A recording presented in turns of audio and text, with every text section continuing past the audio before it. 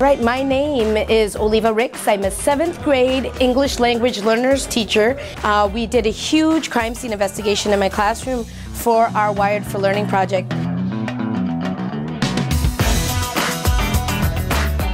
My name is Francisco Pantojas, and I'm in Ms. Ricks' Read 180 class. Francisco is behind the scenes as my chief camera operator. He worked on editing, deleting, finding, streamlining it, adding music, and he created an entire video selection. I'm in Read 180 to become a better reader. The students learned about the various career paths that one could take working in a crime lab. How not better to prepare the kids for the global world, but to have them start with writing resumes and have them work in pathologist lab, knowing that they have to work together to crack the case. It was amazing. Oh yeah, it was awesome. My name is Steve Pearson. I'm an eighth grade English language arts teacher and department chair here at Van Sickle. Our unit was on poetry and we were exploring a theme of success and the idea of success being a choice.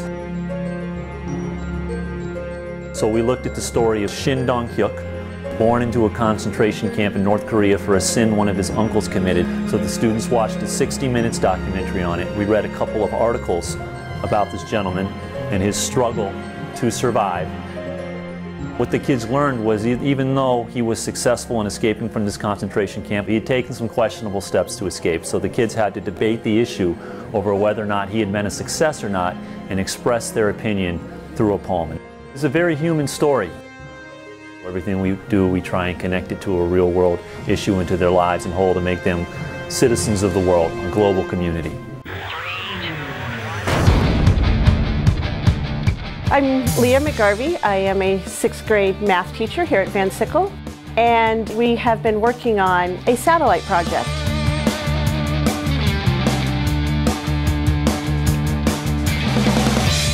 My oldest son is a student at Embry-Riddle Aeronautical University, and he is a part of a team to build a satellite in a contest with the Air Force. I'm Asante Dyer. I'm in sixth grade with Miss McGarvey as my teacher.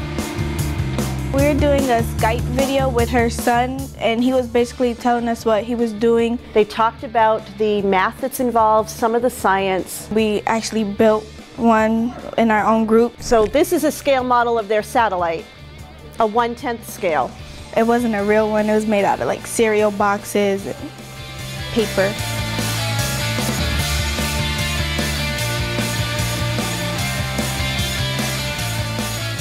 So it gave my kids a real world connection to using ratios. Math is actually kind of fun. We get to do a lot of projects and we get to work in groups and do a lot of research. My son was a student here. He came to this school, he graduated from this school. So it gave the kids the ability to see where they could go if they put their mind to it. It just opened up the world for them a little bit.